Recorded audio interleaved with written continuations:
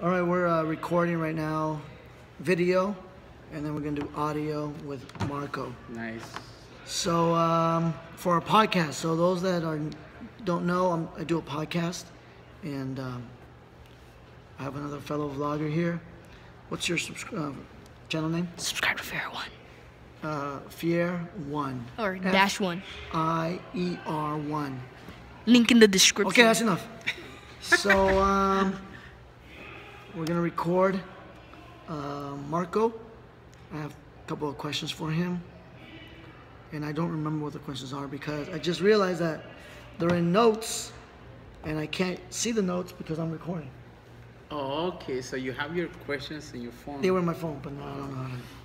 I don't know how to. Well, I can tell that you're growing. you're really growing with your stuff. One day you're gonna have your own office. Exactly.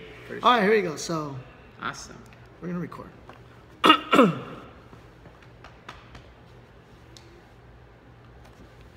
Bienvenidos mis hermanos, estamos aquí hoy en el podcast número 4 y rápidamente porque el tiempo se nos va, tenemos con nosotros Marco Kotok. ¿Pueden creer que tengo a Marco Kotok aquí con nosotros? Esto es para mí un gran privilegio, un gran honor. Saludos eh, a Marco. Marco, decía un saludo al pueblo del Señor.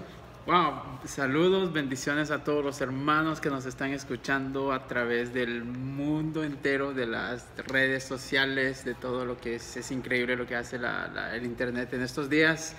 Yo creo que llega a todos los rincones del mundo. Yo creo que es una, una bendición poder conectarnos, poder saludar, poder transmitir el gozo y la bendición y poder ser parte de esta de la bendición que Dios está derramando eh, en estos tiempos. Y saludos a todos, a todos mis hermanos. Aquí está ahí con mi hermano y amigo Alex, que nos llevamos muchos años conociéndonos y ahorita Dios nos permite trabajar, Dios nos permite trabajar juntos y yo creo que es el principio de algo muy hermoso que Dios está haciendo y estoy muy emocionado. Estoy muy contento, estoy muy alegre de, de poder trabajar con él y es un hermano que Dios lo está levantando, Dios lo está usando y sé que es el principio, es algo de muy hermoso, Alex. Gracias, Alex, por tenerme acá. Em, Dije, dije saludos, no, no mensaje de una hora. Ok, rápidamente, Marco, ¿cuánto, tien- ¿cuánto tiempo tienes tú sirviendo en el Ministerio de Llamada Final? Wow, esa es una pregunta que yo creo que ya se me olvidó la, la fecha. Ok, empecé cuando tenía 16 años. Ok, no te vamos a 16. preguntar. Ok, no vamos a preguntar edad, Sí, ok, ¿verdad? está bien. Llevo como 20 años de estar sirviendo Ok. en, en la llamada final central. Empecé con los principios de cuando estaba Tony Pérez. Sí. Ahí fueron, fueron mis principios y también fui con, con, con- estuve con Fito Delgado. Ok, Eh, casi, casi el mismo tiempo que yo he estado sirviendo también allí en llamada final.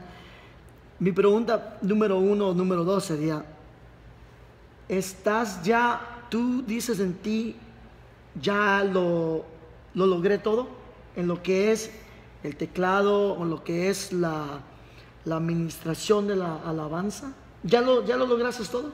Oh, no, esa es una pregunta muy, muy, que yo creo que no es el, ni es el, no hemos llegado ni siquiera al principio de lo que es el, ah, ah, la música es, es un lenguaje, es, una, es un lenguaje que no tiene, yo creo que no tiene un final, como decir, ya lo tengo, ya lo he aprendido, lo he aprendido todo, no, es simplemente un principio, y lo que es la, la, administración, la adoración, eso es, eso es como limitar al fluir de Dios, es como decir, ah, hasta aquí es la, la- presencia de Dios. No, es, eso la administración es algo muy, muy import- es Tiene que crecer, tiene que crecer, tiene que ah, no quedar estancado. Yo creo que no tiene un principio, pero no tiene un final, porque es, en Dios siempre hay cosas nuevas, hay cosas nuevas, especialmente dice que cuando está la presencia de Dios hay libertad y hay un fluir increíble. Has hecho, has hecho por la misericordia de Dios tanto en el Señor, pero te voy a dejar un tiempo para que lo pienses. ¿Qué es algo que te falta? ¿Qué es algo que has anhelado por años que no lo has logrado? Una cosa específica. ¿Qué es algo que, que te motiva? Una cosa que es un desafío. Una cosa que posiblemente dices, la verdad que ni, lo- ni sé si lo voy a lograr aquí en la tierra. O sí lo puedes lograr en la tierra, qué sé yo. ¿Qué es esa cosa?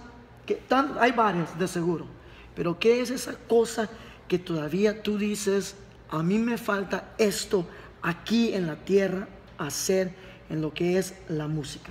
Ok, es lo que estaba esperando, eh, que, me, que me dijeras dónde... En la música, sí, sí, sí. En la música yo pienso que aparte de, de- de poder crecer en la música, poder aprender, poder desarrollarme, yo creo que es el anhelo de todo músico, por eso practica, estudia, todo eso. Pero uno de mis anhelos más grandes que siempre ha sido cada vez que me subo al altar, cada vez que me pongo detrás del piano, cada vez que donde quiera que vaya, inclusive en, en mis ensayos o cuando practico en mi casa, una, una de las cosas que anhela mi corazón es verdaderamente tocar el corazón de Dios y que poder, poder llegar ministrar la presencia de Dios, poder atraer la presencia de Dios. Es, eso es, siempre ha sido mi anhelo y siempre será mi prioridad y mi número uno es poder, poder tocar el corazón de Dios cada vez que esté en un instrumento. Pero tú no crees que lo has logrado?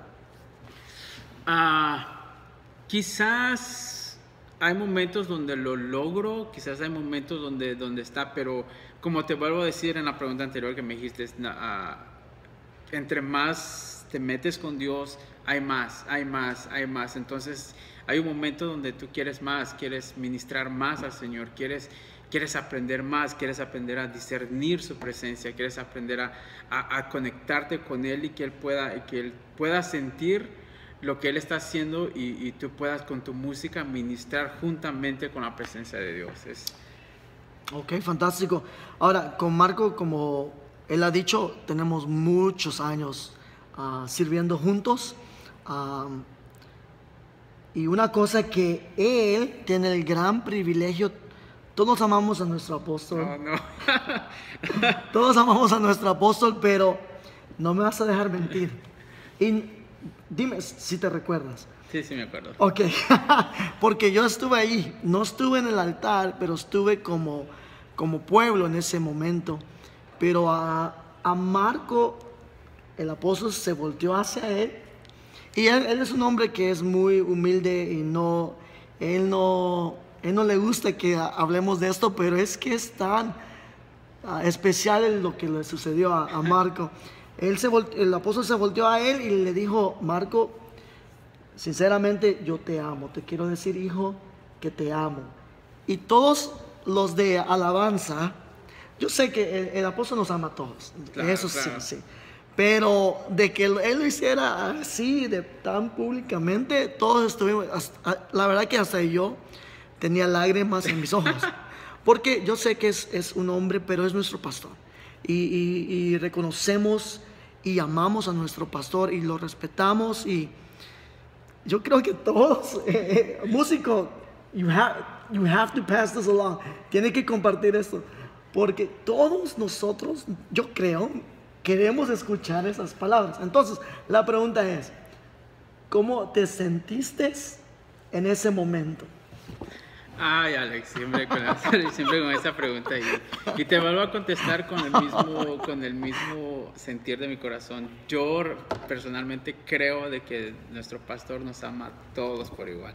Quizás sí me lo dijo a mí en ese momento, ahí en el altar, ah, quizás porque lo sintió en mi su corazón, pero eso no quiere decir que, que no nos ama a todos. Y, Claro. es, es algo bonito que te lo digan, Sí, sabes sí, que sí. te amo, es algo, pero, pero yo creo que, que eso no, no lo hace uno más que todo, al contrario, es, eso demuestra que, que, pues el- nuestro pastor nos ama, nos Amén, ama y, amén, y- amén.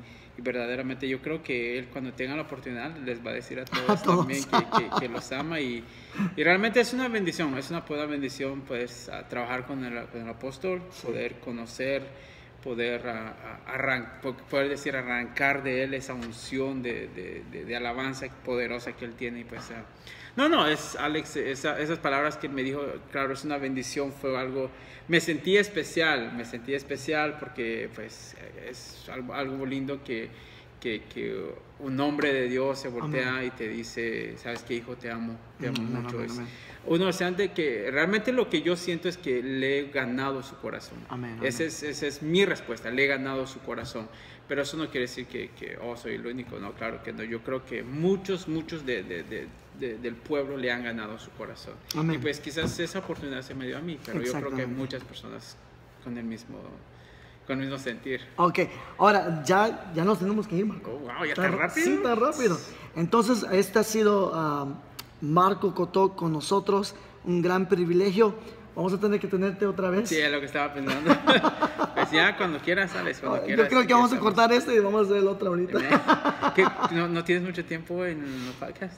Vamos a hablar de eso más tarde. Ok, Ah, ok. entonces, ah, mis hermanos, bendiciones y esperamos en Dios que compartan esto y hagan subscribe y like y que Dios me los bendiga en gran manera. Amén. It's only like 10 minutes. Oh, they and the thing, and the thing where I put it, well, I can't put, I can't put it up because I don't have internet. Um, oh, we're still live. We're still Oh. recording this. So we're not, we're not live. Sorry, sorry. But I'm gonna uh, share this. So on the website, it's called Podomatic, Ok. and you can't um, do it for more than 10 minutes Oh, because I'm not paying for it. oh. Now, if I pay for it, then then I, it, I can extend it longer. Um, it's only about eight bucks a month or nine bucks a month, but I'm re- I'm waiting for this church to start doing their their podcast so that I can um, yours. no add mine. what's the word I'm looking for mooch off theirs. Basically, mooch off theirs. Anyway, uh, this has been um, Marco Kutok, and uh, we hope to have him and many others uh, very soon and, and continue this. So, uh, you guys share, like, and, and subscribe, please. All right, guys? All right. God bless you guys.